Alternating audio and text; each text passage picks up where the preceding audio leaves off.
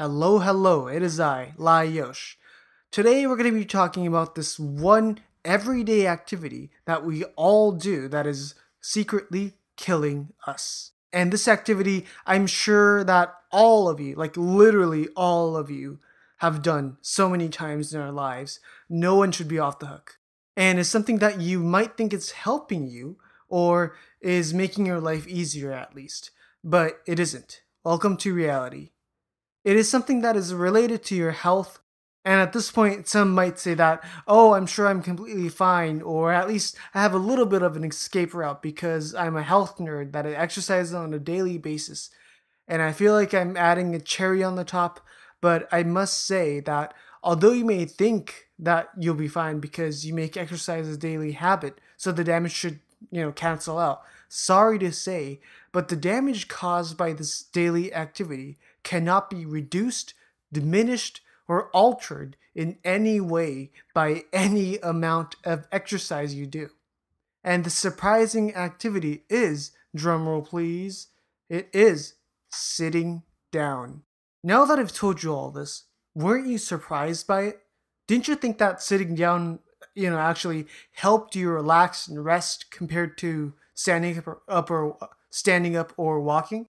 Didn't you think, as a species that are able to walk upright, humans need time to sit, to sit down and rest? What would be the alternative if sitting down is really bad? Always standing up? That seems hard.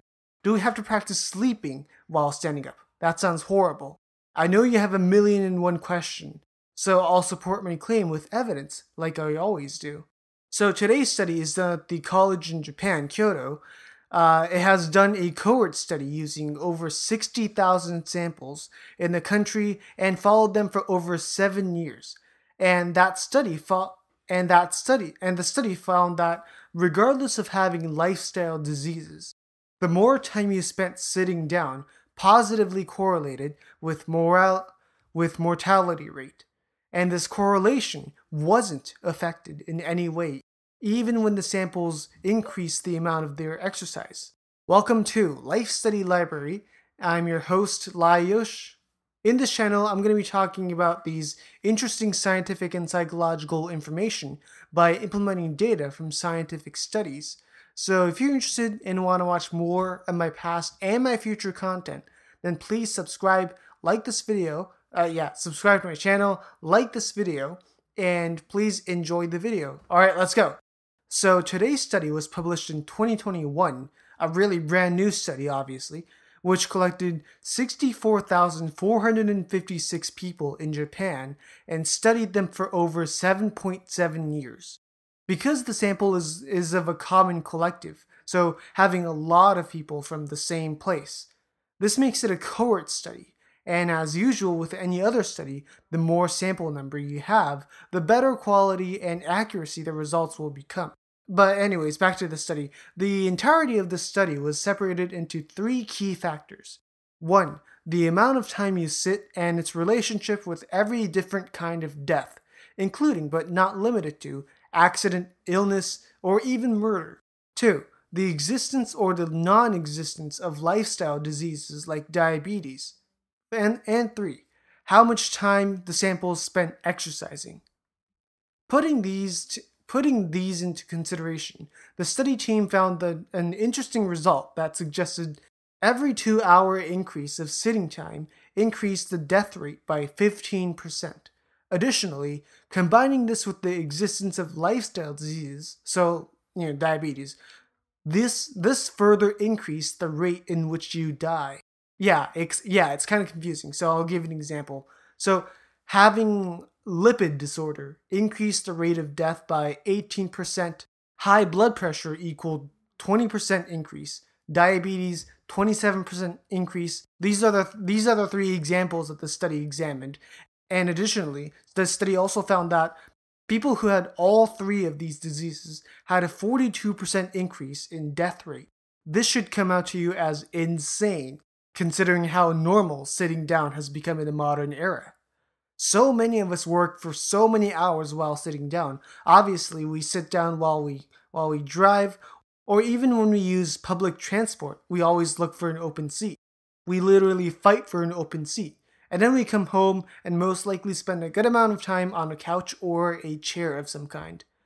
Now, the main point and the kind of the surprising part of the study.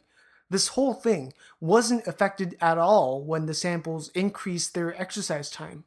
A common excuse I could hear when they tell you this is that, well, I live a very healthy lifestyle. Diseases like diabetes are the furthest thing away from me because I exercise daily. I get that sitting down all the time is bad because it can block your blood flow and all that, and that'll cause a slow metabolism. But exercise has to help, right? And to this, I'm going to have to disappoint you because the team figured out through the, the study that although there are a small chance of improvement, in the death rate in the case of diabetes. Otherwise, there were almost no change in everything else. So, the only positive influence you'll get by exercising on the chance of you dying from sitting down is in the case with diabetes. If you know you sit down a lot and have diabetes, there's a minor chance, minor benefit you can get from increasing the amount you work out. But it's still a super small increase and it's barely significant and noticeable. The study concludes by proving the point that it's a mistake to think it's okay if it's okay if I sit for a long time because I also work out a lot. That statement and mindset is incorrect and is very very dangerous. Additionally, the reason why Japanese people were chosen as the samples was because people in Japan tend to spend more working hours sitting down than people from most other countries. And to be honest, I think Japan is the number one country that makes its citizens sit. So if they experience this much damage, I think it's safe to say that people in other countries should learn from this advice. But what advice, you might ask? If sitting down is bad for you, then what would be the alternative? Well, personally, what I do to avoid sitting down as much as possible is that I bought myself a standing desk and removed my old regular desk so that I could force myself to stand while I work. I try to make my life so that the only time I'm not standing up is when I'm eating and when I'm sleeping. I sit while eating because I need that moment for the food to digest, and while sleeping because the human body will rest the best if you lay down while you sleep. I have some links to a few really good standing desks I liked in the, descri- in the uh, description, they range at about two to five hundred dollars, so not something that you can buy instinctively, but considering the benefits you can attain, I think it's a very affordable purchase. And with that, I'm done with the topic for today. Oh, wow, it seems shorter, but okay. Uh, yeah, anyways, thank you for watching. I hope you enjoyed this video and learned a lot from it.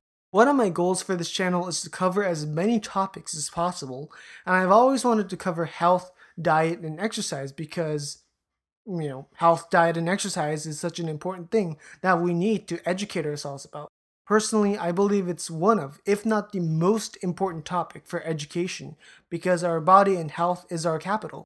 I'm going to be talking about this topic extensively in, in future videos, so to make sure you don't miss out, I highly recommend you subscribe to my channel to watch more upcoming videos on this or any other topic. But until then, kiss your desk work goodbye, remove chairs and regular desks from your life, buy yourself a good standing desk, and enjoy a longer, healthier, and a safer life.